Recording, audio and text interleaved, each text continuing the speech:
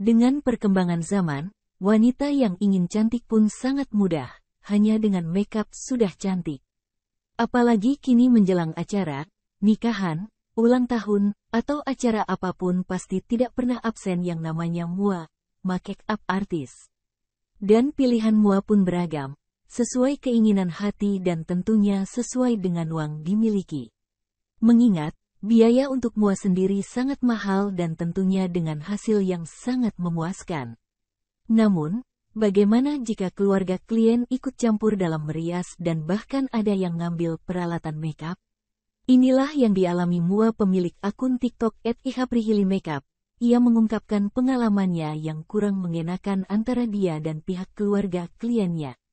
Meski acara ini hanya acara ulang tahun, namun kesannya bikin miris.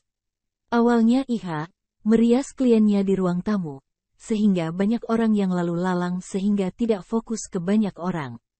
Namun bagi Iha, ada ibu-ibu yang mencurigakan meski awalnya biasa saja.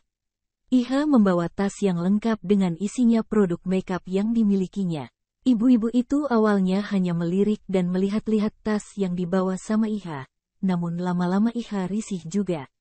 Setelah tiga kali melirik ke tas makeupnya, ibu itu mulai menanyakan produk yang digunakan Iha. Namun, Iha hanya menjawab dengan brand yang dia bawa saja. Sehingga konsentrasi Iha hilang karena adanya si ibu tersebut, sehingga ia berharap ibu itu segera pergi. Tak lama setelah pergi, ibu itu datang lagi dan membawa serta nenek yang berulang tahun dan langsung mengambil foundation di tas makeup Iha secara tiba-tiba. Iha spontan bertanya mengapa ibu mengambil foundationnya. Ibu pun menjawab, oh, cuma pakai sedikit doang, kok. Dengan mood yang sudah nggak bagus, Iha langsung mengambil foundation itu dari tangan si ibu. Tak sampai di situ, ternyata ibu-ibu tadi juga mengambil kuas dan palet eyeshadow tanpa izin.